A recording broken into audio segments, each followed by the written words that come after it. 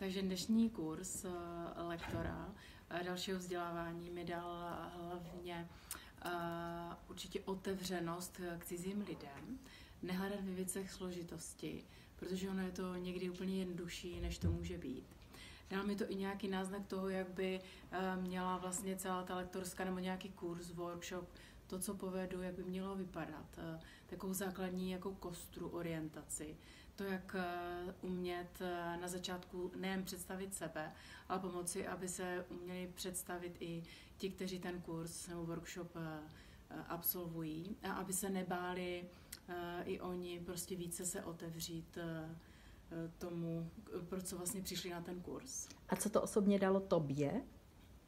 Jako osobnosti uh, lektorské, co se naučila? Osobnosti lektorské je to třeba teď, co právě prožívám, to znamená nechat se natočit a nebát se, nebát se mluvit takhle naživo uh, prostě na kameru. Mm-hmm, takže před nějakým uh, davem lidí. Přesně tak. Mm-hmm.